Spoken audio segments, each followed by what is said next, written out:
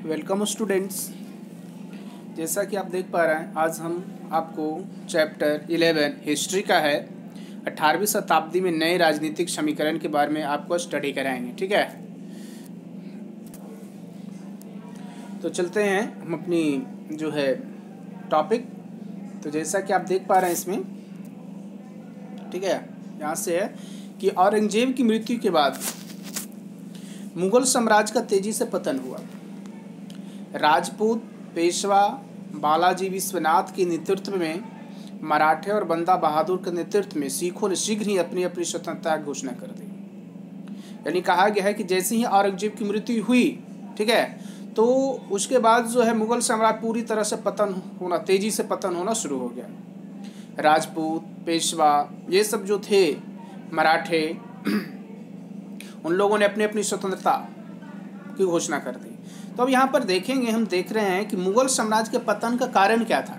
यानी मुगल जो साम्राज्य था, ठीक है, मुगल साम्राज्य, उसका पतन, विघटन का कारण क्या रहा था, ठीक है, यहाँ पर हम देखेंगे।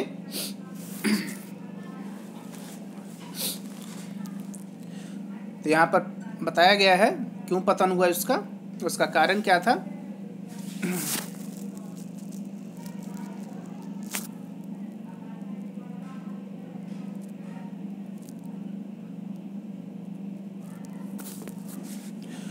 तो बाद के मुगल शासक, यानी बाद में जो मुगल शासक हुए उनकी स्थिति क्या थी?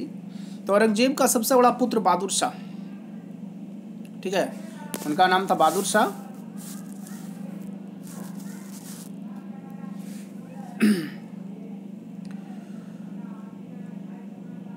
जो 1707 ईस्वी में सिंहासन पर बैठा, उस समय वह पैंसठ वर्ष को हो चुका था। 1712 ईस्वी में उसकी मृत्यु हो गई। उत्तराधिकारी के लिए भीषण संघर्ष शुरू हुआ, जिसमें सैयद बंधुओं, हुसैन अली और अब्दुल्ला ने, जो दो शक्ति अमीर थे, शक्तिशाली और अमीर थे, राज निर्माता किंग मेकर्स की भूमिका निभाई। उनके षड्यंत्रों से साम्राज्य काफ़ी कमज़ोर हो गया। बाद के मुगल शासक अयोग्य थे, जैसा होना चाहिए वैसा नहीं थे, और उनमें एक विशाल साम्राज्य पर शासन करने का कौशल नहीं था। 1719 ईस्वी में सैयद बंधुओं मोहम्मद शाह को सिंहासन पर बैठाया। मोहम्मद शाह के शासनकाल, जो 1719 से 1748 की ईस्वी के बीच बताया जाता है, में एक एक करके कई प्रांत, जैसे दक्कन, अवध, बंगाल और रूह, हेलखंड, मुगलों के हाथ से निकल गए। इन प्रांतों शुभों के गवर्नर स्वतंत्र शासक बन गए। मुगल साम्राज्य सिकुड़कर काफ़ी छोटा हो गया।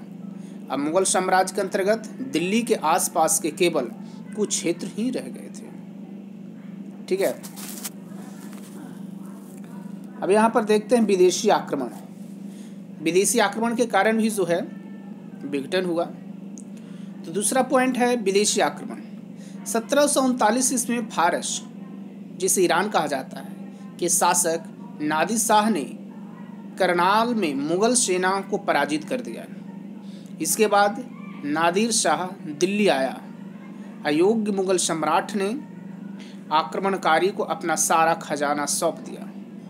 नादिर शाह ने दिल्ली पर कब्जा करके हज़ारों बेगुनाहों को मौत के घाट उतार दिया। नादिर शाह प्रसिद्ध मयूर सिंहासन तख्त ताउस और कोहिनूर, हीरा सहित बेशुमार धन दौलत लेकर अपने देश लौट गया।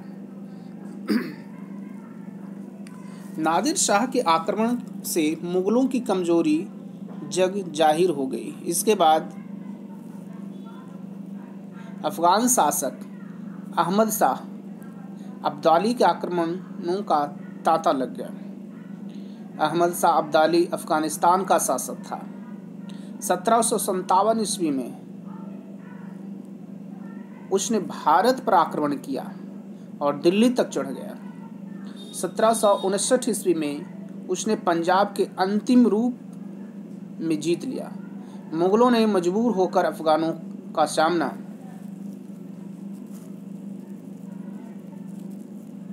करने के लिए मराठों की मदद ली। इसके परिणाम स्वरूप अहमद शाह अब्दाली और मराठी के बीच युद्ध की स्थिति उत्पन्न हो गई। अहमद शाह ने सत्रह सौ इकसठ ईस्वी में पानीपत के युद्ध में मराठा सेना को हरा दिया। इस हार से न केवल मराठे काफ़ी कमज़ोर हो गए, बल्कि मुगल साम्राज्य का पतन भी बहुत तेज़ी से हुआ। तीसरा कारण है मुगल शासक का विघटन का, वह है औरंगज़ेब की धार्मिक नीति। किसकी? औरंगज़ेब की धार्मिक नीति। क्या है उनकी धार्मिक नीति? तो हम देखते हैं यहाँ कि औरंगज़ेब की धार्मिक नीति का साम्राज्य की स्थिति पर काफ़ी हानिकारक प्रभाव पड़ा। उसने सिखों, मराठों और राजपूतों की सहानुभूति खो दी थी। उसने अपने जीवन के अंतिम 25 वर्ष जहाँ तहां उठे विद्रोहों के दबाने में ही बिताने पड़े। चौथा पॉइंट है कि राजपूतों, सिखों और मराठों की शक्ति में उहार। तो राजपूत, मराठा और सिख अपनी बहादुरी के लिए जाने जाते थे। उनकी शक्ति में उभार के कारण मुगल साम्राज्य न सिर्फ़ कमज़ोर हुआ, बल्कि उसका पतन भी हो गया। तो ये आपका पतन के कुछ कारण थे, जो चार पॉइंट यहाँ थे, ठीक है, कि मुगल शासक जो था क्यों पतन हुआ? अब देखते हैं राजपूत। राजपूत यहाँ जो आ रहा है, राजपूत की क्या स्थिति थी? तो औरंगज़ेब का राजपूतों के साथ संबंध कभी भी प्रेम पूर्वक नहीं रहा। जो औरंगज़ेब थे, उनकी जो संबंध होना चाहिए, भाईचारा होना चाहिए प्रेम पूर्वक जो है, वो राजपूत के साथ कभी नहीं रहा था। शाहजहां की मृत्यु के बाद उनके चारों पुत्रों के बीच हुए उत्तराधिकार के युद्ध में मेवाड़ के राजा जसवंत सिंह। राठौर ने औरंगज़ेब का साथ नहीं दिया था। जब 1678 ईस्वी में जसवंत सिंह की मृत्यु हुई तो औरंगज़ेब ने उनके पुत्र को मेवाड़ की गद्दी में बैठने की अनुमति नहीं दी। इसके परिणाम स्वरूप मारवाड़ और मेवाड़ के राजपूत आपस में मिल गए। उन्होंने अपनी स्वतंत्रता की घोषणा कर दी और मुगलों के विरुद्ध युद्ध छेड़ दिया। बाद में औरंगज़ेब ने मेवाड़ के राजपूतों के साथ मेल मिलाप करके युद्ध को समाप्त करने के प्रयास किया। ये देखिए, ये जयपुर का हवा महल है। ठीक है? ये जो है, जयपुर का हवा महल दिखाया गया है। राजा जय सिंह ने जयपुर शहर का निर्माण करवाया, जिसे गुलाबी शहर के नाम से भी जाना जाता है। गुलाबी शहर किन्हें कहा जाता है? किस शहर को कहा जाता है? तो जयपुर शहर। ठीक है, याद रखिएगा। उन्होंने जयपुर, दिल्ली, वाराणसी और उज्जैन में आकाश व तारों का वैज्ञानिक अध्ययन के लिए खगोल पर्यवेक्षण शाला का भी निर्माण करवाया। उन्होंने जो है, जयसिंह जो थे और दिल्ली, वाराणसी, उज्जैन ये सब जगहों में जो है तारामंडल का निर्माण करवाया गया। खगोल पर्यवेक्षण शाला का निर्माण करवाया गया। उसके बाद सिख। नेक्स्ट पॉइंट जो आप देख पा रहे हैं, सीख आ रहा है। यानी सिख की स्थिति, दशा क्या थी उस समय? तो औरंगज़ेब की धार्मिक नीति में, धार्मिक नीति से सिखों में भी असंतोष फैल गया। गुरु तेग बहादुर का औरंगज़ेब के आदेश पर बध कर दिया गया था। मुगलों ने 1704 ईस्वी में आनंदपुर के किले पर हमला कर दिया।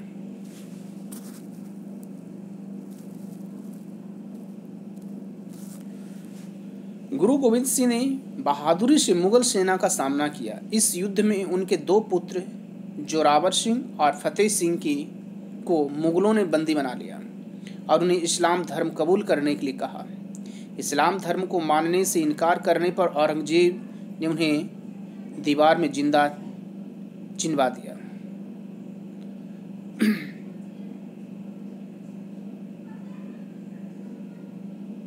गुरु गोविंद सिंह की दो युवा पठानों ने महाराष्ट्र में छुरा घोप कर हत्या कर दी।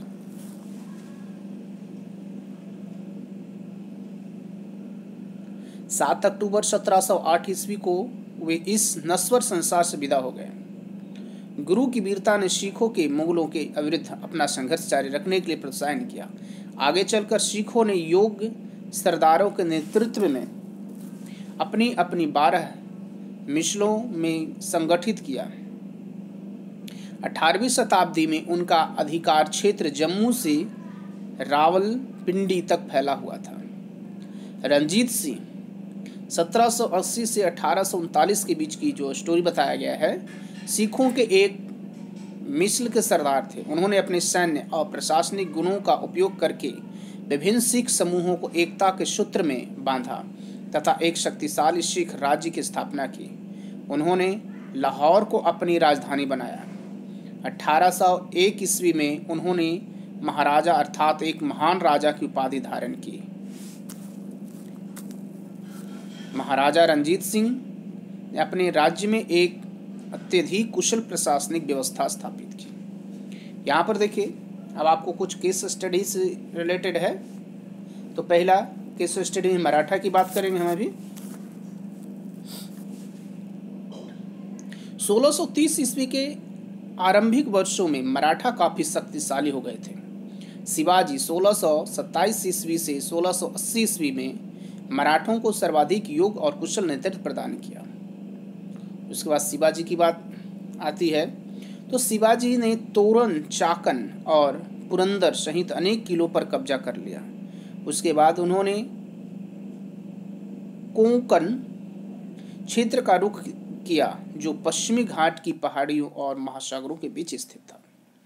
सोलह सौ उनसठ ईस्वी में बीजापुर के सुल्तान ने अपने सेनापति अफजल खां के मराठों की शक्ति कुचलने के लिए भेजा। शिवाजी ने अफजल खां को अपने जाल में फंसाकर मार डाला।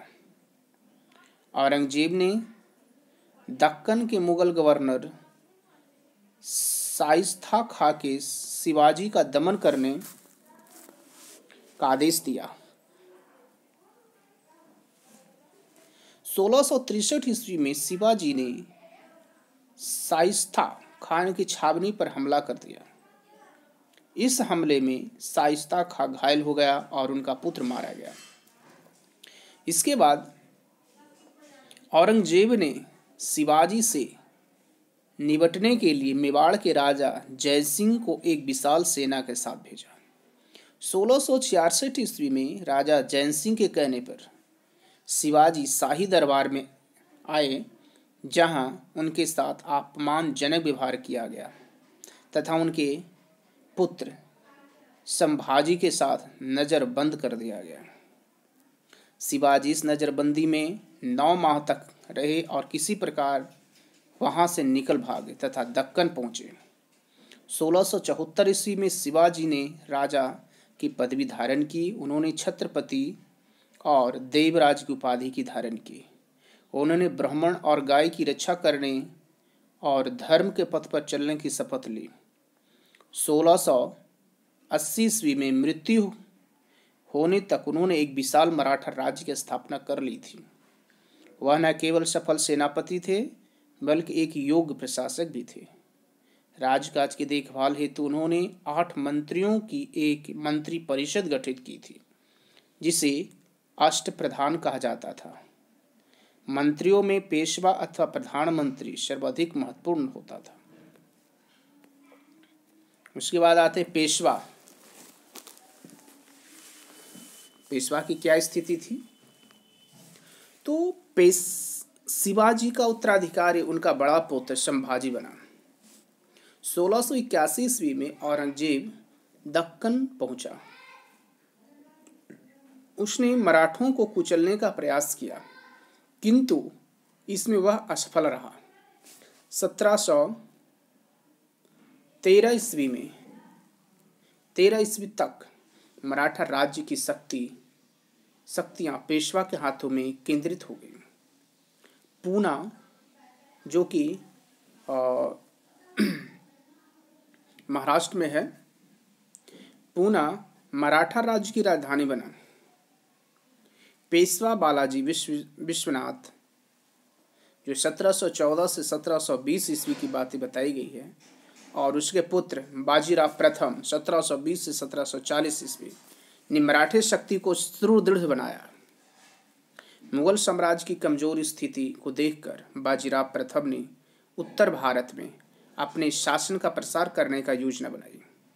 उस समय शासन चला रही, चला रहे सभी शक्तिशाली मराठा सरदार भोसले, सिंधिया और होलकारों ने साम्राज्य विस्तार में बालाजी का साथ दिया। उन्होंने मराठा राज्य संघ की भी स्थापना की। 1740 ईस्वी में बाजीराव की मृत्यु हो गई। वह एक बहादुर सेनापति था। उसने अधिकांश राज्यों के शासकों से चौथ और सरदेश मुखी वसूल की।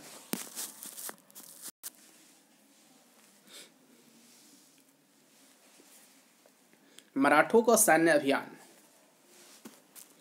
मराठों का सैन्य अभियान। बाजीराव प्रथम के बाद उसका पुत्र बालाजी बाजीराव उसका उत्तराधिकारी बना। उसने उत्तर और दक्षिण भारत में मराठा शक्ति का विस्तार किया। उसने मालवा, गुजरात और बुंदेलखंड पर मराठों की पकड़ को मज़बूत बनाया। उसने जयपुर, कोटा, बूंदी और राजस्थान के अन्य शासकों से कर वसूल किया। इस प्रकार मुगलों का शासन होने के बावजूद वास्तविक शक्ति मराठों के हाथों में थी। उसके बाद आता है पानीपत की तीसरी लड़ाई। ये महत्वपूर्ण है, याद रखिएगा, जो सत्रह सौ इकसठ ईस्वी की बताई गई है। मराठों ने एक एक करके अनेक प्रदेशों को जीत लिया।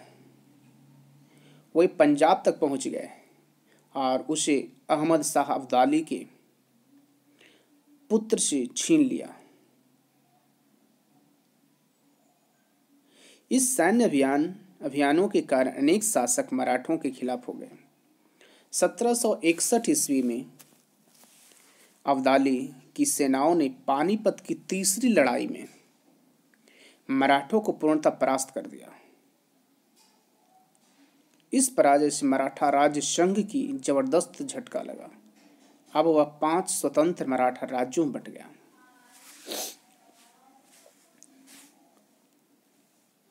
मराठों के पास अत्यधिक विशाल सेना थी।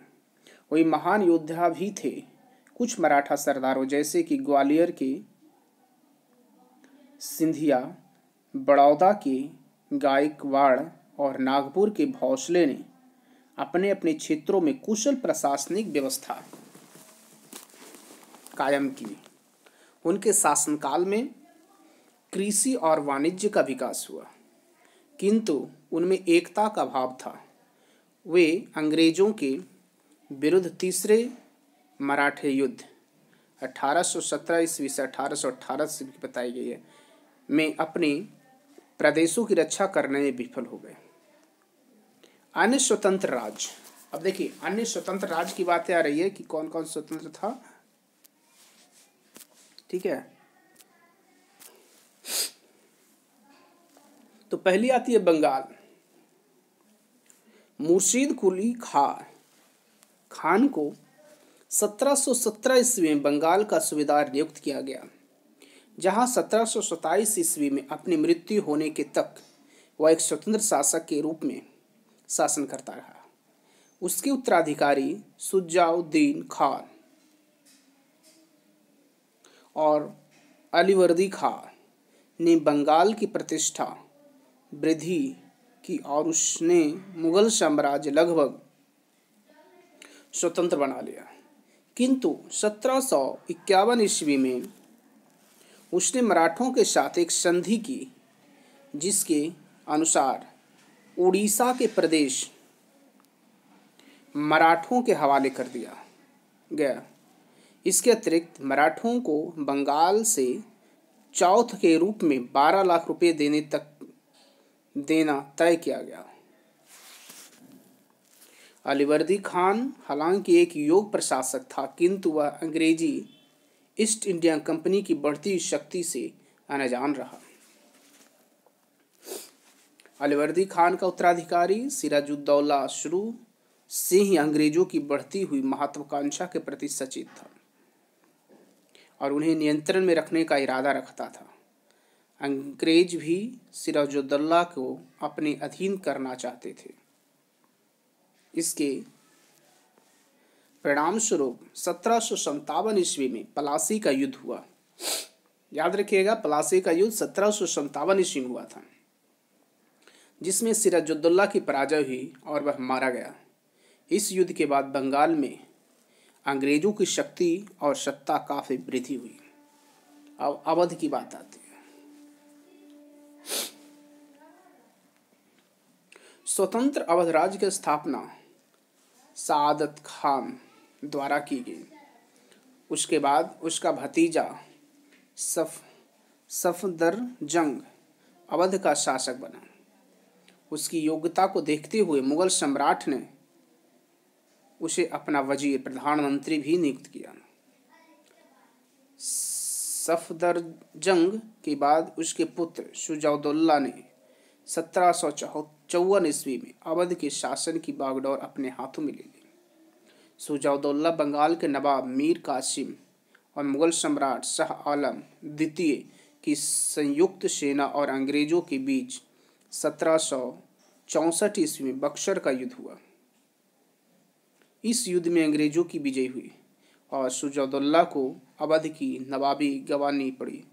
किंतु अंग्रेज़ों ने सत्रह सौ पैंसठ ईस्वी में हुई इलाहाबाद की संधि द्वारा अवध सुजाउद्दौला के को वापस कर दिया। वास्तव में देखा जाए तो अवध का नवाब अब अंग्रेज़ों के अधीन हो गया था। उसके बाद आता मैसूर।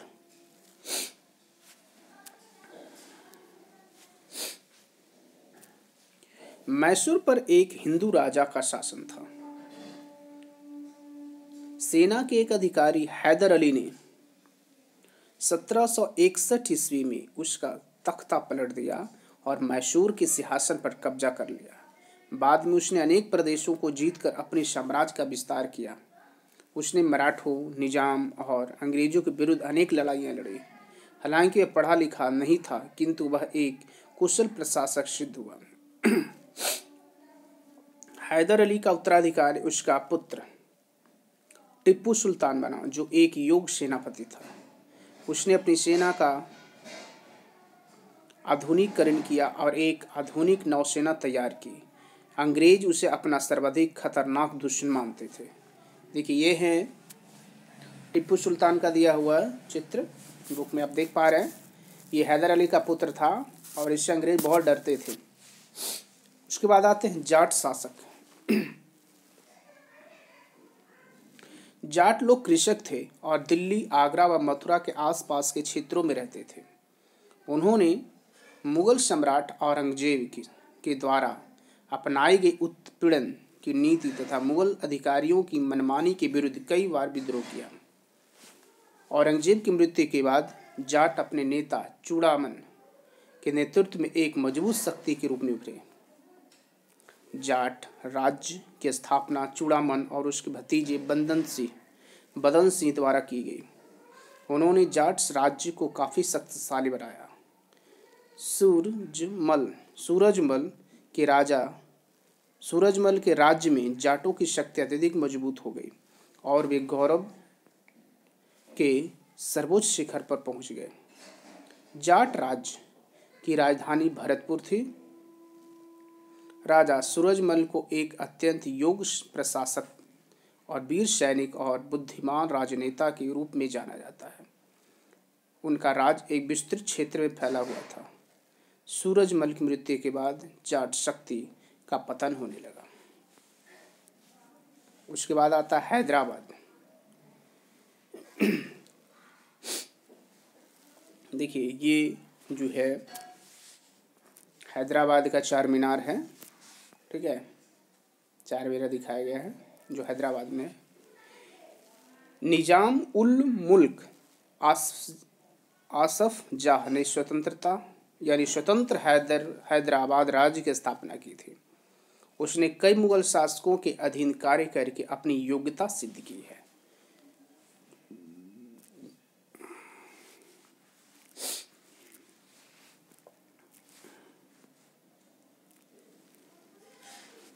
आसफ जाह दक्कन के छह मुगल सूबों की गवर्नर था और उसे खान, ए खाना की उपाधि दी गई थी।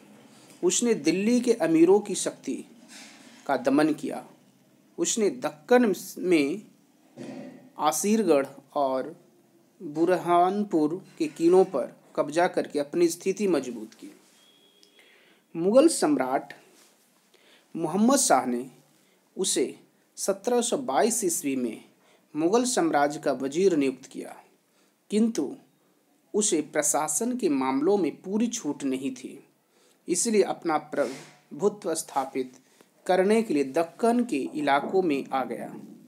उसने वहाँ स्वतंत्र हैदराबाद की राज्य की स्थापना की। सत्रह सौ अड़तालीस ईस्वी में अपना, यानी अपनी मृत्यु होने तक उसने कुशल प्रशासनिक और राजस्व व्यवस्था स्थापित कर ली थी। बाद में उसके उत्तराधिकारी हैदराबाद के निज़ाम कहलाए। तो इस तरह से जो है, ये चैप्टर खत्म हो जाती है और इसके जो है प्रश्न उत्तर क्वेश्चन विथ आंसर। आप खुद से बनाएँगे, इसका क्वेश्चन ऑब्जेक्टिव का जो है, हम पीडीएफ कल भेज देंगे, ठीक है? तो आज ये चैप्टर ख़त्म होती है। इतिहास का जो सिलेबस पूरा था, वो आज पूरा ख़त्म हो जाती है। इतिहास में इससे ज़्यादा नहीं है, चैप्टर लेवल लास्ट होता है, ठीक है? इसके बाद ज्योग्राफी दो चैप्टर बच रही है और सिविक्स दो चैप्टर बच रहे हैं, जो आगे हम स्टडी कराएँगे। Thank you.